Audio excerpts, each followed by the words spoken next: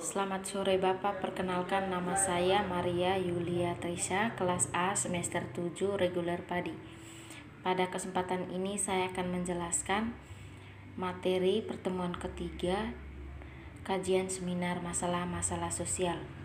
Adapun topik yang saya akan bahas pada kesempatan ini yaitu tentang kematian bayi sebagai masalah sosial yang berkelanjutan. Subtopik yang pertama yaitu kematian bayi, masalah sosial. Newman adalah pelopor dalam kesehatan masyarakat dan anak selama paruh pertama abad ke-20.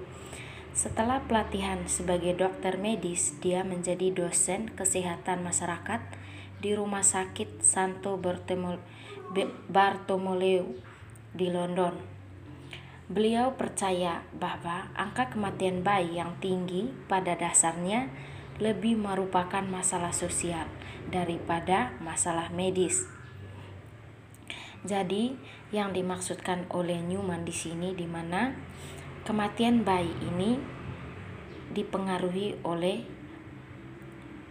faktor penyebabnya adalah masalah sosial, bukan masalah medis. Mengapa demikian? Karena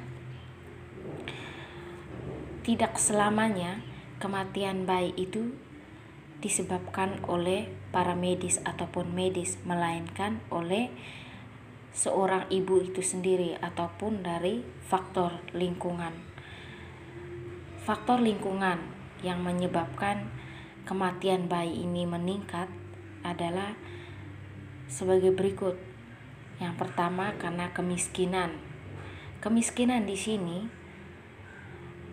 membuat seorang ibu tidak bisa memenuhi kebutuhan hidupnya setiap hari, sehingga jalan pintas untuk bisa memenuhi kebutuhan untuk bisa bertahan hidup dari seorang ibu adalah dengan cara menggugurkan kandungan, baik itu karena sengaja maupun karena tidak sengaja. Hal ini karena dipengaruhi oleh yang namanya kemiskinan. Adapun kematian bayi yang terjadi sekarang adalah karena kebutuhan-kebutuhan ekonomi dalam kehidupan masyarakat yang tidak mencukupi ataupun kesanggupan dari seorang ibu untuk mengandung seorang anak sehingga lebih banyak peristiwa kematian kematian terutama kematian bayi sekarang lebih meningkat. Mengapa kematian bayi ini disebut sebagai masalah sosial? Bukan sebagai masalah medis karena seperti yang kita ketahui bahwa lebih banyak angka ke kelahiran sekarang lebih banyak dibandingkan dari angka kematian setiap waktu selalu ada yang melahirkan, dan tentunya hal ini sangat berpengaruh terhadap kebutuhan ekonomi dari sekeluarga, terutama dari seorang ibu. Untuk memenuhi kebutuhan hidupnya sehari-hari, tentunya seorang ibu harus bekerja keras agar anak-anak yang dikandungnya bisa bertahan hidup. Namun ada kalanya zaman sekarang lebih banyak karena angka kelahiran meningkat. Jalan pintas yang dilakukan oleh seorang ibu adalah dengan cara salah satunya yaitu dengan menggugurkan kandungan. Sehingga mengapa dikatakan kematian bayi sebagai masalah sosial bukan sebagai masalah medis. Kematian bayi adalah kejahatan sosial Faktor yang mempengaruhi level tingginya agak rumit. Masalahnya adalah salah satunya kepedulian nasional dan sebagainya. Jadi yang dimaksudkan di sini di mana kematian bayi yang terjadi sekarang ini adalah sebuah kejahatan-kejahatan sosial yang di mana sudah menjadi kebiasaan di dalam kehidupan masyarakat dan kematian bayi ini bukan lagi sebuah kejahatan yang biasa melainkan sebagai kejahatan yang sudah sudah umum di dalam lingkungan masyarakat dan Adapun faktor, salah satu faktor yang mempengaruhinya di sini yaitu kurangnya kepedulian nasional. Dalam hal ini, menurut saya adalah di mana pemerintah tidak memperdulikan masyarakatnya. Bagaimana kehidupan masyarakatnya, sehingga angka kematian bayi itu lebih banyak. Jadi, salah satu faktornya di sini yaitu dari pemerintah itu sendiri.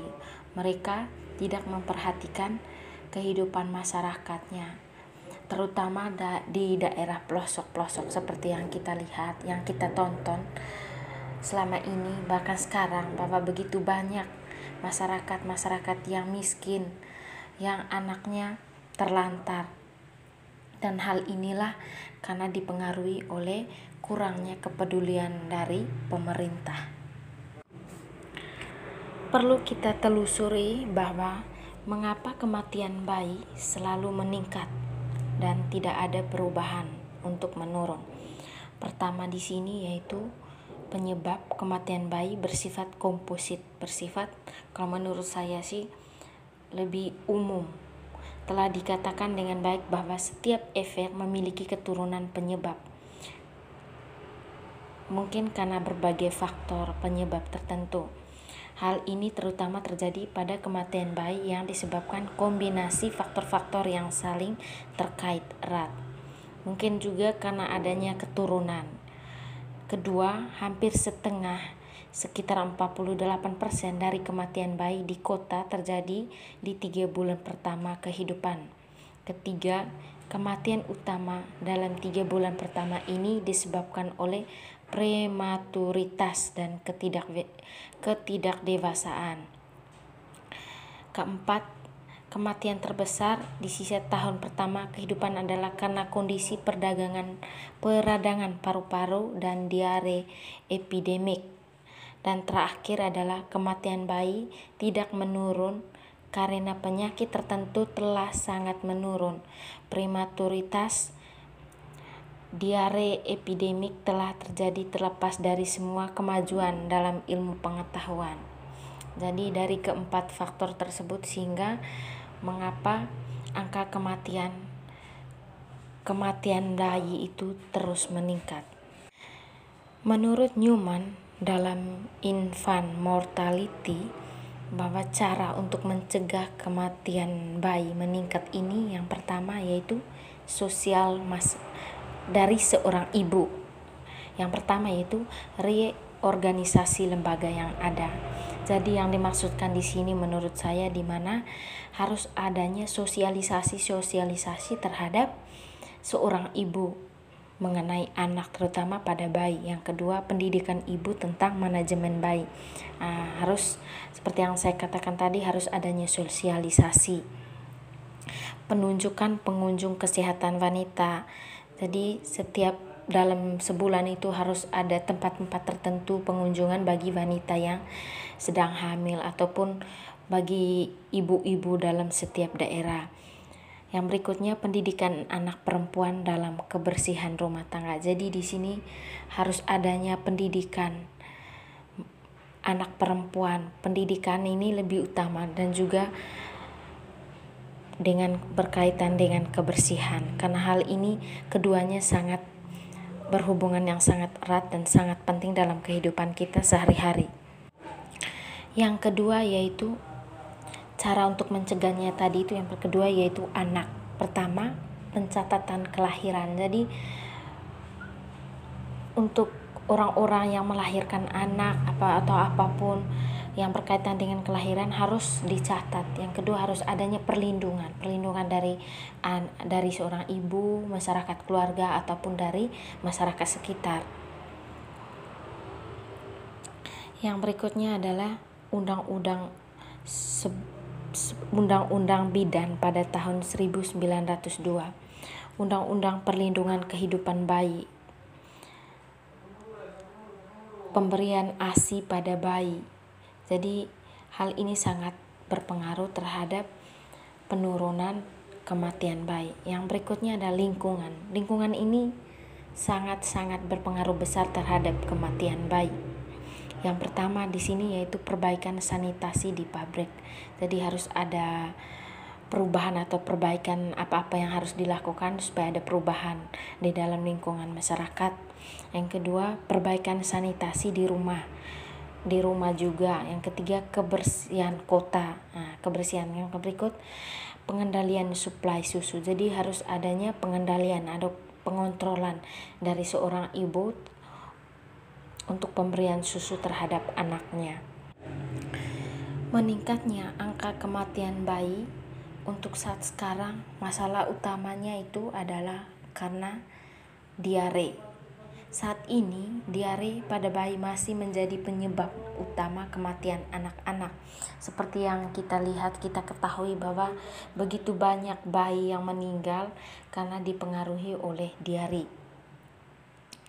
Adapun langkah-langkah yang harus dilakukan untuk melawan penyakit ini yaitu meningkatkan akses air bersih dan sanitasi yang aman, mempromosikan pendidikan higienis ASI eksklusif praktik, penyapihan yang lebih baik, mengimunisasi semua anak, terutama melawan campak menggunakan jamban, menjaga kebersihan makanan dan air, mencuci tangan pakai sabun, dan begitu juga dengan bayi. Sebelum menyentuh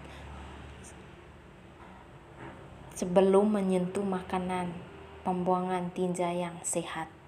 Jadi hal-hal ini harus diperhatikan dalam kehidupan kita sehari-hari karena